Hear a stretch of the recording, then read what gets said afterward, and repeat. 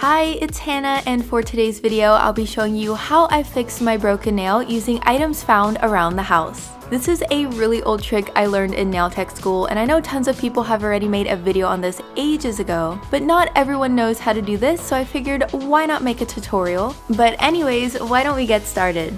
The main items you will need are a nail buffer, nail or super glue, and a tea bag. First, cut a small piece of the tea bag.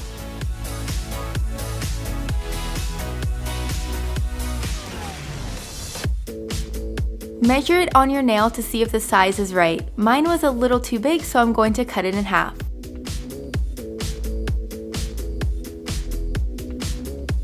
Next, apply a small amount of glue over the broken area of the nail. Then place a strip of tea bag over it so that it soaks the glue up. Make sure to place it over the broken part and carefully press down so that it dries flat. Now use some nippers to remove the excess. I'm going to apply another blob of glue onto the nail and spread it around a little with a toothpick. If you get any glue on your skin, I found that most of it comes off after a hot shower.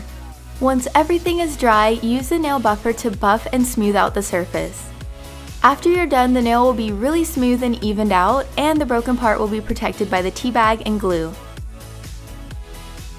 Now apply your manicure as usual and you'll be good to go.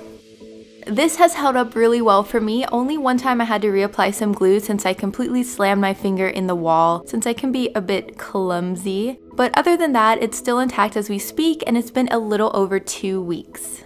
So that's it for this video. I really hope you enjoyed it. Don't forget to find me on social so you can tag me all your nail or nail art pictures. I'd love to see them. Thanks so much for watching and I'll see you later. Bye!